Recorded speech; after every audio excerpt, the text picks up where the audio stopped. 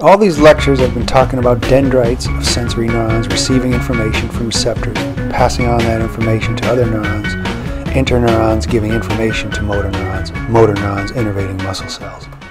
When we get into the brain and talk about different regions or centers receiving information from sensory pathways, different brain regions connected to each other, or motor areas sending out information, you want to think of it as neurons or groups of neurons talking to each other. So when I talk about information being received or passed, I'm talking about neural communication.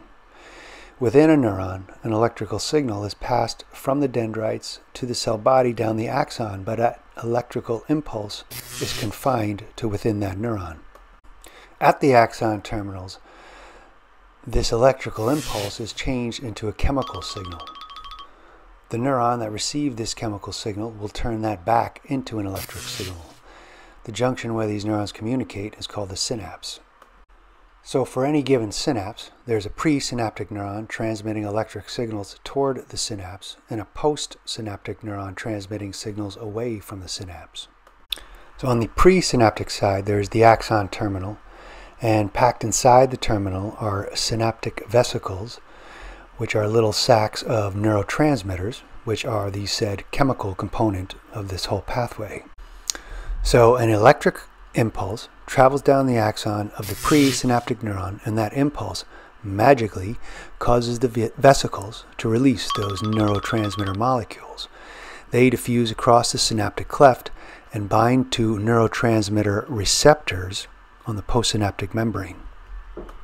This binding to the receptors changes the membrane charge on the postsynaptic membrane which influences the membrane's ability to generate a nerve impulse. Now, a critical point, if you really want to understand neural communication, is that the postsynaptic neuron can be made less likely to pass on the signal because quite often the presynaptic neuron is inhibitory. It really only makes sense when you consider that any given postsynaptic neuron can have thousands of presynaptic inputs all trying to influence it. The decision to pass on that signal ultimately will be decided at the axon hillock, where the excitatory and inhibitory signals are summed up.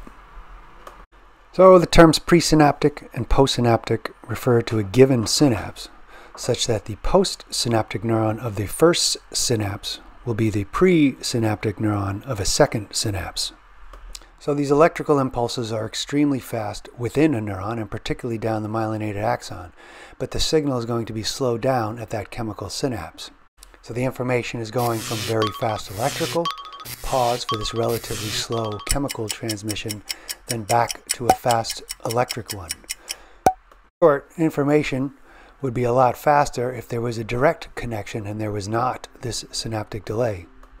So there are simple reflexes and other reflexive systems that deal with sensory information needing an immediate response. So the fewer synapses in a circuit, the faster the circuit. But most incoming sensory information does not require an immediate response.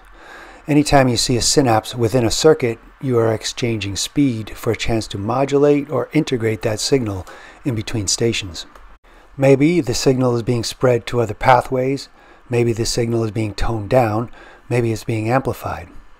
So for all those signals being passed on from the periphery into the spinal cord, up that descending pathway toward the brain, there will be relay stations where information is being processed before it reaches the highest centers of the brain.